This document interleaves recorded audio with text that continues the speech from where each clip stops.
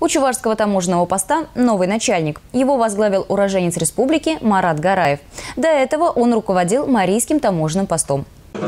Приказ о его назначении был подписан недавно. Сегодня нового начальника Чувашской таможни представили главе региона Михаилу Игнатьеву. Специально для этого в республику прибыл руководитель Нижегородской таможенной службы Вениамин Васильев. В рабочей беседе было отмечено, чаще всего с их ведомством взаимодействуют предприятия электротехнической отрасли, а также завод по производству солнечных модулей. Доля чувашского экспорта на мировом рынке увеличивается с каждым годом. Вениамин Васильев также отметил, что в общероссийском рейтинге республика признанный лидер по электронному документообороту. 99% деклараций уже подается через интернет. В рамках реализации дорожной карты постановления правительства Российской Федерации Андрей Юрьевич Белянинов будет ежегодно отчитываться перед правительством о создании благоприятных условий для бизнеса.